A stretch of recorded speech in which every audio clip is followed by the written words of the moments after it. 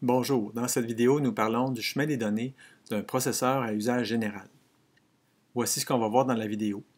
On va tout d'abord regarder l'architecture du chemin des données d'un processeur à usage général et ensuite on va voir des exemples d'opérations sur ce chemin des données. Donc, tout d'abord, un chemin des données est composé d'un bloc de registre et d'unités fonctionnelles.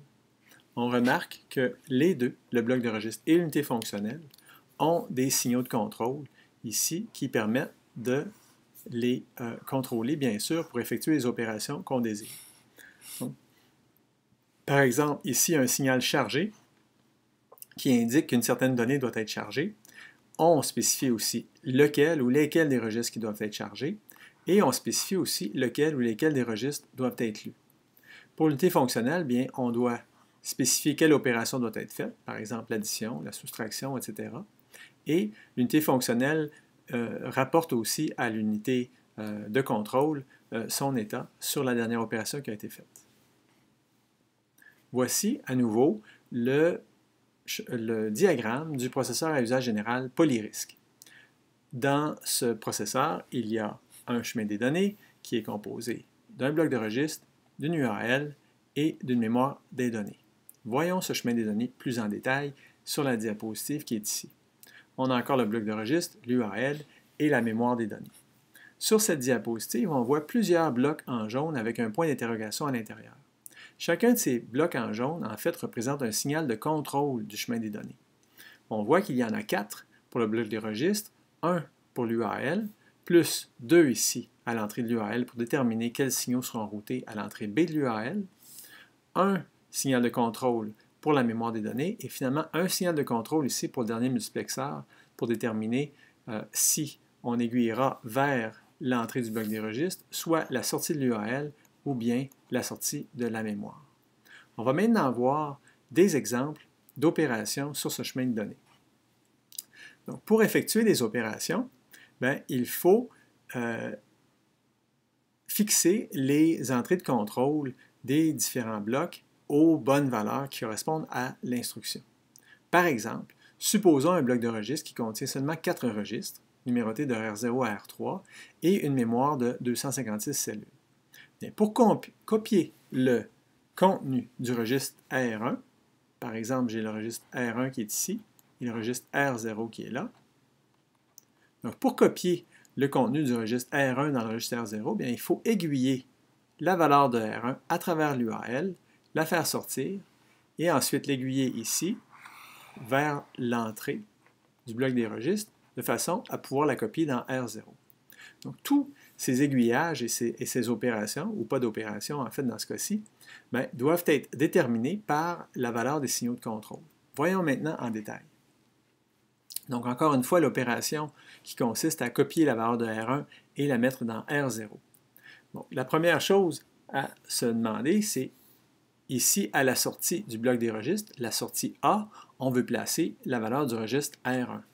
Donc, pour le signal de contrôle choix A, on va lui donner la valeur de 1, qui consiste donc à prendre la valeur de R1 et la placer sur le port A. Ensuite, pour bien, on ne veut pas faire aucune opération. On veut simplement prendre la valeur du port A et la transmettre à F. Et le code correspondant est le code 0. Ensuite, pour le multiplexeur qui est à la sortie ici, on veut prendre la valeur 0, qui consistera donc à prendre la valeur qui vient de l'URL et l'aiguiller vers l'entrée du bloc des registres. Pour l'entrée du bloc des registres, on veut placer la valeur 1 sur la fonction de chargement parce qu'on veut dire au bloc de registre, oui, il faut charger une valeur.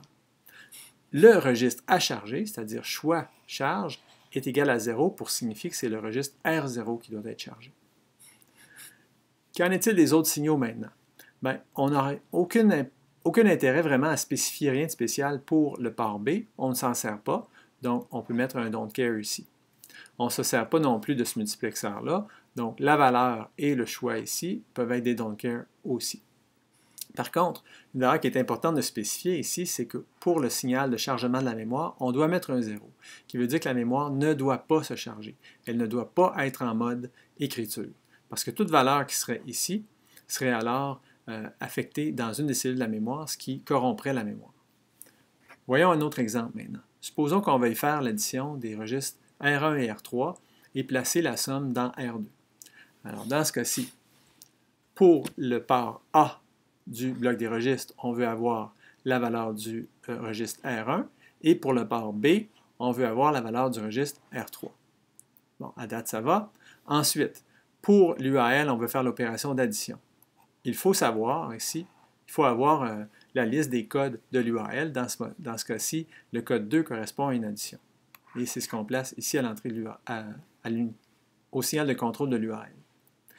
Encore une fois, on ne se sert pas de la mémoire. On lui place un 0 ici pour la mettre en mode euh, lecture et non écriture, bien qu'on ne se serve pas de sa sortie. Le multiplexeur à la sortie, on lui met un 0 encore une fois parce que ce n'est pas la valeur qui vient de la mémoire qui nous intéresse, c'est bien ce qui arrive de l'URL. Ensuite, on revient à l'entrée du bloc des registres et pour cette opération, on veut écrire le résultat de la somme dans R2. Donc, on va placer ici dans le signal de contrôle choix charge 2 pour signifier que c'est le registre R2 qui doit être chargé. On va placer aussi un 1 au signal charge pour dire au bloc de registre oui, il faut charger la valeur qui est placée à l'entrée. Voyons une autre, une autre instruction maintenant qui est à peu près la même que celle qu'on vient de voir, sauf qu'au lieu de faire une addition, on ferait le et logique.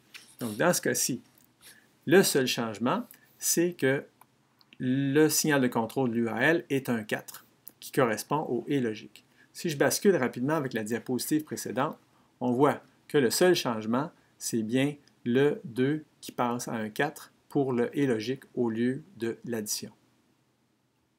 Si on fait maintenant une opération avec la mémoire, donc, supposons qu'on veuille placer euh, en mémoire, pardon, dans le registre R3, le contenu de l'adresse 25 euh, de la mémoire. Donc, dans ce cas-ci, on, on doit placer la valeur 25 ici à l'adresse de la mémoire. Mais cette, cette valeur ici est une constante, une constante qui sera encodée dans le programme. Donc, elle ne vient pas des registres, elle viendrait de une des instructions du programme. C'est pour ça ici que cette instruction-là, cette valeur-là, pardon, 25, ça aurait été décodée à partir des instructions. On veut placer une valeur de 1 dans le multiplexeur qui est ici pour placer la valeur 25 au port B. Ensuite, on met un 1 à l'unité arithmétique logique qui signifie ne pas faire de calcul et simplement prendre la valeur qui arrive du port B. Ensuite, cette valeur de 25 est placé ici à la sortie de l'URL et vient se placer à l'adresse. On met encore un 0 ici à la mémoire pour lui signifier qu'elle est en mode lecture et non en mode écriture. Le contenu de l'adresse 25 va donc être aiguillé à la sortie de la mémoire ici vers le multiplexeur. On choisit une valeur de 1 pour euh, aiguiller cette, valeur vers le bloc des registres. Si on regarde à l'entrée du bloc des registres maintenant, on, doit, on désire charger le registre R3. Donc, pour le signal choix charge, on met une valeur de 3 et pour le signal de chargement, on met une valeur de 1 pour dire oui, il faut charger une valeur. Les deux signaux de sortie du bloc de registre sont sans importance. Ce sont des don't care parce qu'on ne, s'en sert pas dans cet exemple-ci. Voici un autre exemple, cette fois-ci, si on veut écrire dans la mémoire. Par exemple, on veut écrire le contenu du registre R0 dans la mémoire à l'adresse 25. Donc, dans ce cas-ci, on doit placer on doit placer la valeur du registre R0 sur le port B. Et c'est pour ça ici qu'on met un 0 qui correspond au registre R0 pour le port B.